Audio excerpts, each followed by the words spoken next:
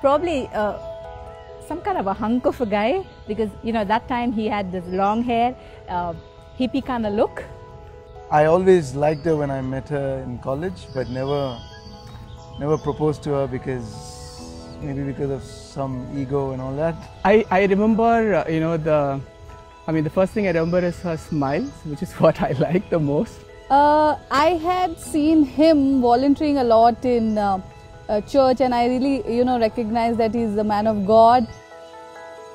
Actually, I have more weird habits than him. I think the way he uses his toothpaste, yeah. He's very organized and disciplined.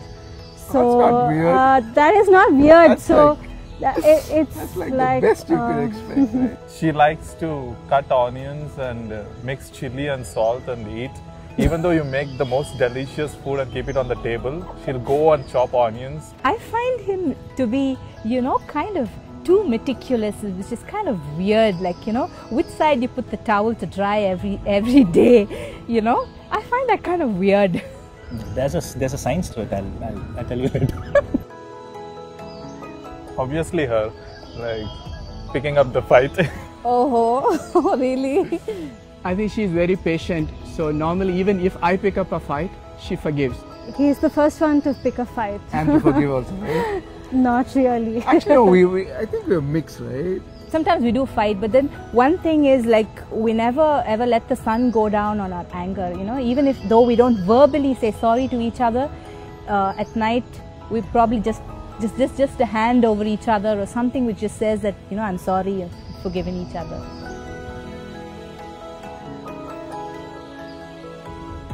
Both are equal. Sometimes it's um, it's mom and sometimes it's dad. He's very strict. After they've gone to bed and he like you know gets into their room every night and sometimes I like wonder what what he's doing and then he would go uh, you know into their rooms and I would see him like you know put put his hands over them and pray over them. So I think that's the sweetest dad moment. Uh, there are times when I'm like, I'm beating myself. I, I ought to do this. I should have done that. And no. But then when I look at them, I'm like, I mean, I've got a bigger father. So why worry? So that's one thing which I've learned from the kids.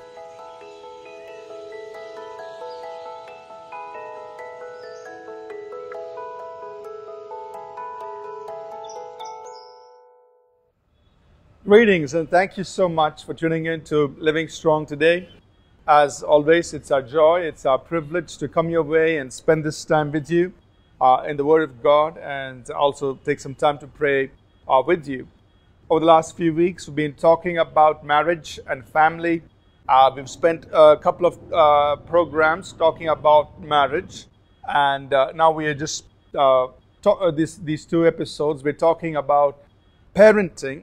And uh, on the program today, we especially want to talk about parenting teenagers and young adults. Children, of course, are going to grow up and become teenagers and young adults, and and uh, working with them is, of course, something that's totally different from uh, their early uh, childhood years. Uh, on the program today, we have uh, two special guests. We have Jean George, who is a professional mental health counselor, and she has a degree, a master's degree in psychiatric social work. She began her uh, early career as a school counselor, but uh, as a development coordinator in a child-centered NGO. She's also worked as a consultant uh, in the Department of Psychiatry with the Medical College Hospital here in Bangalore. Uh, currently, she has her own private practice and uh, spends a lot of time working with people from in the corporates, uh, dealing with their with their family and mental health uh, challenges, working with them. Uh, we also have Ranjini Isaac, who has uh, a, a master's degree uh, in uh, medical and psychiatric social work. She's uh, worked in both medical and psychiatric uh, uh, settings, providing services to people with uh, mental health uh, problems. She's also specialized in the area of education, uh, and uh, she's uh, spent several years counseling uh, students and their families, both in one-on-one and also in group family therapy settings. So uh, we are so privileged to have both of them with us. They are both part of our uh, Chrysalis Counseling, which is a, a ministry of all people's church, serving our church community and others in our city uh, in the area of marriage, family, and parenting. So, uh, we're going to take some time to talk about parenting, especially parenting teens, young adults. Uh, you know, and, and uh, uh, God has really given us as uh, believing parents the responsibility to nurture our children, to train our children in the ways of the Lord, so that when they grow up, they can continue uh, walking in those ways. And uh, there is this joy of parenting. It's like the Bible says, they're like arrows in the hands of a warrior. And you know what a joy when, when, a, when a warrior releases an arrow and the arrow finds its mark. I mean, it's a thrill to know that you know that arrow was positioned, it was released in the right way, and and it, it, it accomplished its purpose. Uh, but that doesn't happen automatically. We, you know, as parents, we have to do our part. So now, when we talk about teens, as parents, we ourselves have to change in the way we work with teenagers, and you know, gradually they become young adults. And so, uh, there's this whole shift that parents need to make.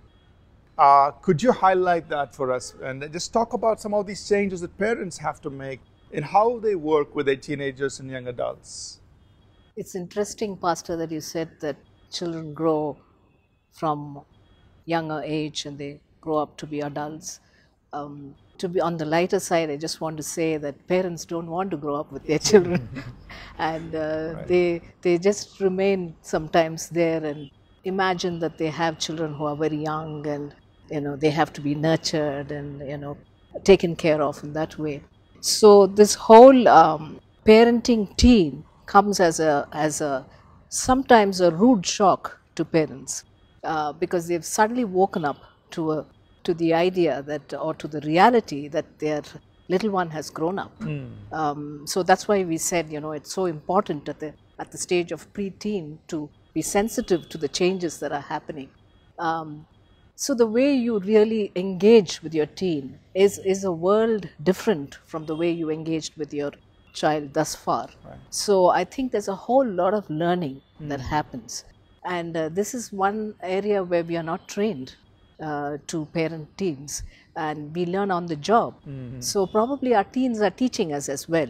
So we start looking at them as people who are actually educating us about mm. themselves. So we, we have to participate in the bringing up of teens, not as a, a, a, at the level of an authority figure or an authoritarian kind of an attitude, but more as a, a person who disciples your child.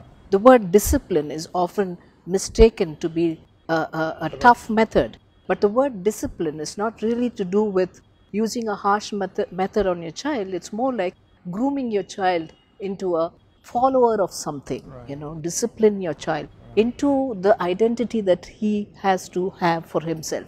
So, it, the, the, the primary goal of parenting a teen is to bring them to that point of independence mm. where they start looking within themselves and to God for their own life. And it's not to keep policing them okay. until such time they leave your home. So the, the transition is huge mm. and um, the kind of qualities that you need probably go through rough weather mm. and we learn over a period of time that we need to change our strategies. It will be one of um, uh, participatory mm. and uh, one that is encouraging or um, uh, you know empowering or uh, getting into a reasoning kind of a relationship where you talk one on one with a child, you respect the child's identity, you help them realize that they are individuals, they are unique, and they've been created by God for a particular purpose. So constantly you have this um, responsibility of communicating that to your teen, right. and that gives the teen a stability to think, oh, I am someone. Mm.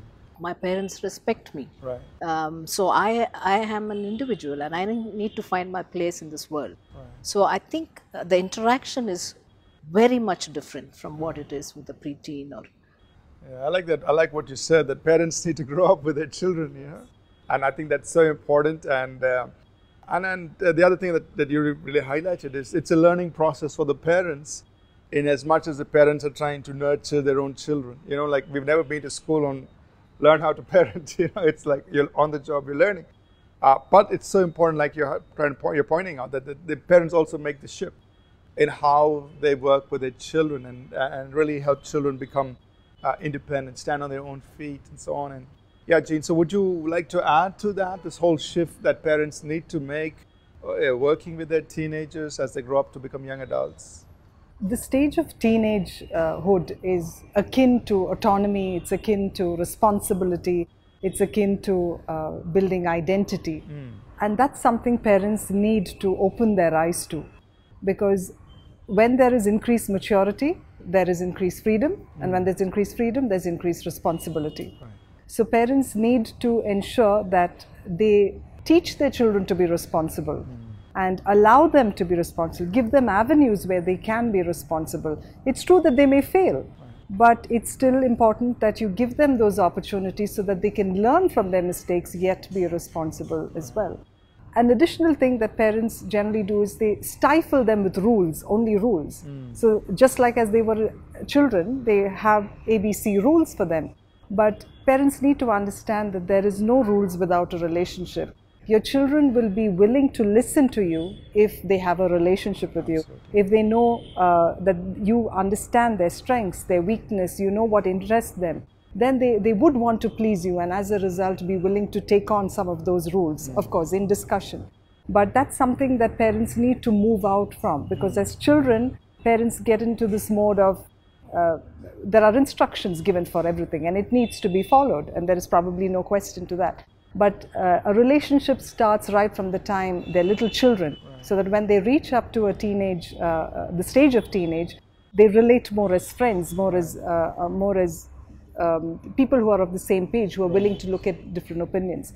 So in that in that uh, realm is where children, uh, teens would love to listen to those rules and imbibe uh, what the parents are attempting to teach them. Yeah, yeah. I I, uh, I really uh, you know like that that relationship and rules. You know, you just can't have rules without relationship, and but it's in that environment where parents are having that relationship where they can then bring in the rules. And it just reminds me about King David in the Bible. You know, where you know Absalom was, of course, he had. Uh, uh, uh, he was having a very difficult situation. His own sister had been violated. Uh, and David didn't do anything about it. He knew about the problem, but he ne- never did anything. He just gave instructions. You know, Absalom, of course, left Jerusalem. He went away. David just said, bring him back and, you know, let him stay in his house and all this. So just instructions. But there really was no involvement from David's side in, in, in what Absalom was going in his struggle. And uh, what was the end result? We see young Absalom rebelling against his father. Uh, and then on the other hand, maybe, you know, David learned from that whole experience with Absalom. Later on, when Solomon comes along, uh, we find, uh, although we don't have, uh, you know, in, in the direct record of uh, David instructing Solomon, in, in the Proverbs, we see how Solomon talks about David.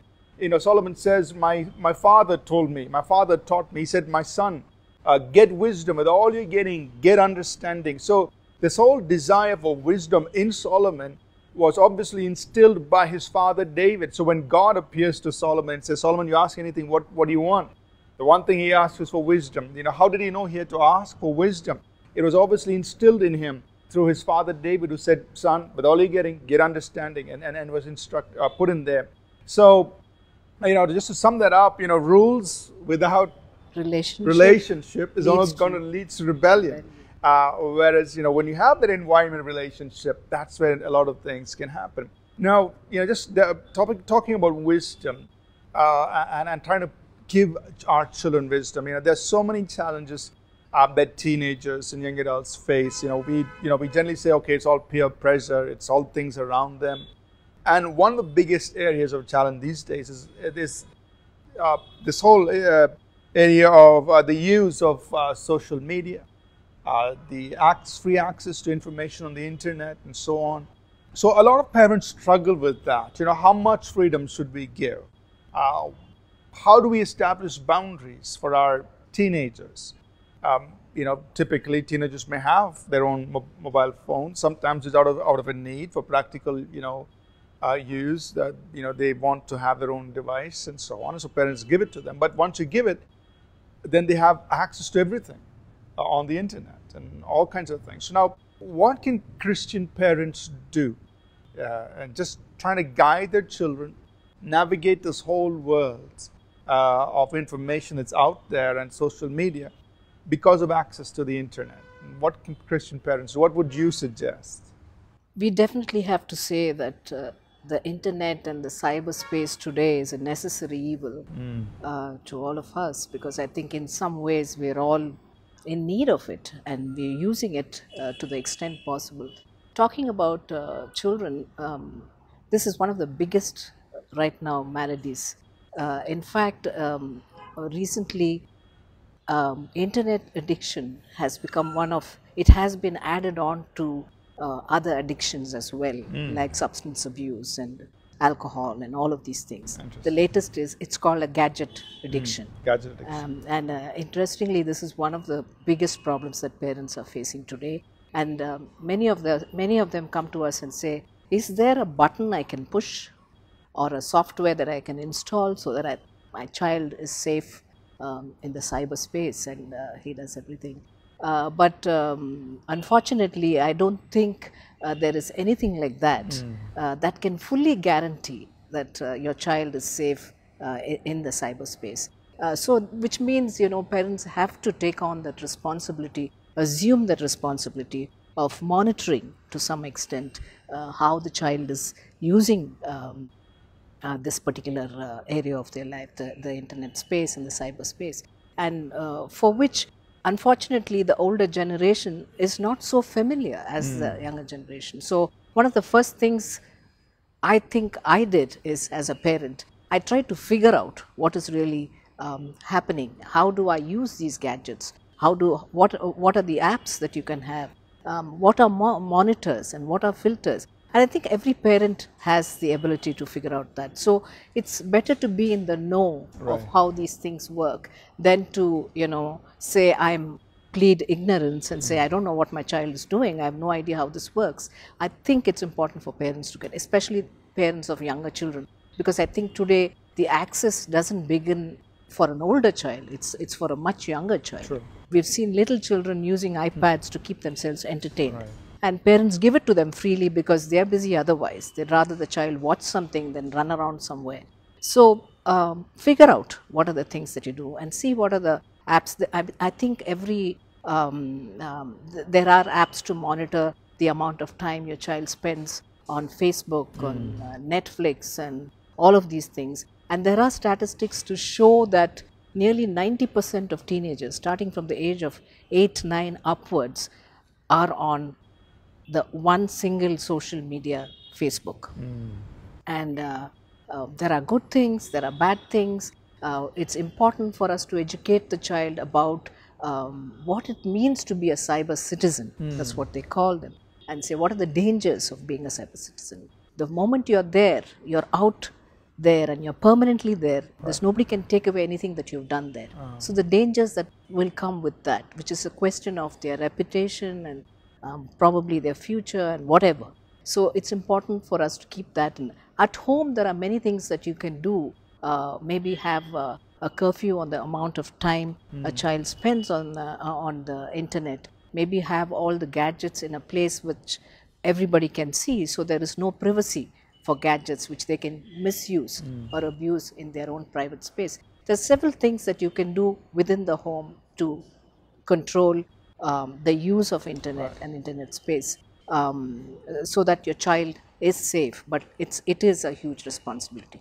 Yeah, Ranjini, that, those were very important thoughts there, and especially in dealing with this whole challenge uh, of social media. And, and along with that, you know, we are aware that parents have to deal with things like studying, uh, which is a big, a big deal here, especially uh, uh, in India and Asia.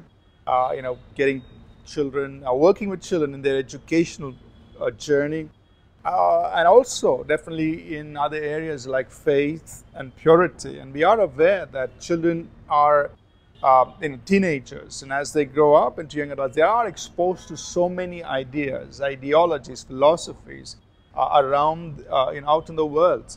And uh, I think you know we should not we should not necessarily try to put a tight rein on children and try to hold them back because they are going to explore ideas and things around them at some point. But I think it's so important for us to instill in them those those values. It'll help them make choices, uh, the right choices as they make their journey. Uh, you know, we, are we have to kind of wrap up our program today, but I want to close by just asking, you know, this cha- this challenging question that you know, uh, uh, in as much as uh, as believers, as parents, we do our best to uh, nurture our children, to work with our teenagers as they grow up into becoming young adults. Now, we do our best, we do everything we know we, we are supposed to do, but what if uh, uh, a teenager or a young adult, as they grow up, uh, show signs of wandering away from things we know are right? You know, what if we see them, you know, just dabbling with things in the world? They want to experiment, they want to go out and discover, and they want to explore. They're curious. And so they begin to dabble with different things, and uh, which seem like they're going astray from the right path that we, we want them to walk in. How should a believing parent respond? How should they relate to their child, to their teenage or young adult at that stage? If you could just talk about that, that'll be great, I think. I think the first thing that comes to my mind is um, when your child goes astray, you should respond to your child in love. Mm because that is the time when it's hardest for you to love your child. Um, do not give up on your child. I know it's difficult for a parent to go through that, but you should remember that God has not given up on your child. Okay, so you keep that in mind and uh, don't throw up your hands. Um, intercede for your child. Mm. Do everything you can in love to bring your child back because that is part of your finishing responsibility to God. And uh, that's why we are here as custodians, as managers. Uh, maybe you can't really influence your child in terms of talking to them or um, following up on things that they do, or you feel you're already distanced, but it doesn't matter. One of the best ways you can really cover for your child is to intercede for your child. Right. Uh, bring your child because you know there is somebody greater who's interceding on your child's behalf. So you got to really keep your heart and your arms open, right. just like the father who let his prodigal son go away, right. but he stood there and waited and waited until the son came back and received him with open arms. Right. So I think that is really a challenge, but it is doable. It is doable. Mm-hmm. Jen, you want to quickly add anything to that? I think there's no bigger lesson that we can learn apart from what we know of the prodigal son. Mm. So when children go astray, parents either uh, uh, there are two extremes. They're either too passive or they're too aggressive. Mm. But then the Bible tells us what is the way that we are to respond unconditional love. The father opened his arms, waiting for the son to come back, and uh, gave him the best of things. Uh, although it's difficult for parents to do that, but we have a model. Mm. And we know that there is a blessing when, when parents do receive their children in love, even when they go astray, because we are demonstrating the love of the Father. Right. That's that's amazing. Thank you so much for being with us here. You know, we're getting ready to close off uh, the program, and in fact, this entire series on marriage and family. You know, parents, uh, we have a, a great job. I, I, wouldn't say a job, but a great ministry that God has entrusted to us in nurturing our children. And as we, as we just heard, even if you see children, you know, kind of going astray, never give up, never stop loving them. Uh, it's like what God says. He says, I've loved you with an everlasting love. And with loving kindness I have drawn you in Jeremiah 31. And that's the love of God that we need to release that will draw them back in uh, to the ways of the Lord. And the Bible reminds us there in Romans 2 4 that it's the goodness of God uh, that leads us to repentance. It's just the pull of the goodness of God that brings us back uh, into right relationship. So don't give up on your children. Keep praying. Take the promises of God. Go before God uh, stand before God for your children. And uh, remember, like as Joshua said, as for me and my house, we will serve the Lord. And we want to pray that with you, for you, upon you, uh, before we close this program. Let's pray together. Father, we just thank you for the opportunity to spend this time talking, discussing, learning. And Father, we pray for every home, for every marriage, every family, uh, where people have been watching us. And we pray that each of our homes, oh God, will be homes according to your word. Where, Lord, we would say, As for me and my house, we will serve the Lord. That the children you've given us will rise up, will grow up to become the men and the women that you want them to be.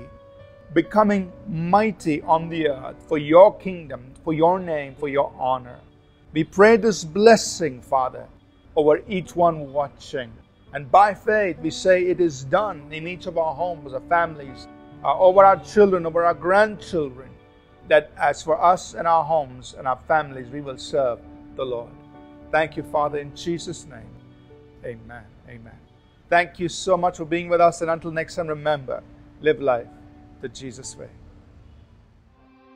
God's desire for relationship and intimate fellowship with us as sons and daughters goes way back before the foundation of the world. That means the reason God created you and me is so that He could be a father, we could be His sons and daughters, and we could be before Him just covered, enveloped, surrounded, overwhelmed by His love.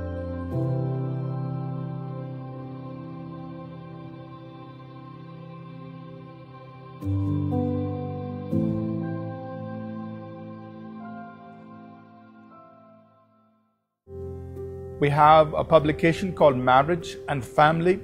Uh, it's a, a, very comprehensive book that starts from the very beginning of what marriage is, how do you go about preparing for marriage, how do you find your life partner, and then moving on into uh, essential ingredients that are necessary for building a strong marriage, uh, resolving conflicts, communication, uh, learning to put the past behind. We talk about things like uh, running your family, uh, personal finances, budgeting, and so on. And then we move on to talk a little bit about uh, parenting and so on and how to pray for your children. So this book is, uh, is, is very important, very useful, and very concise.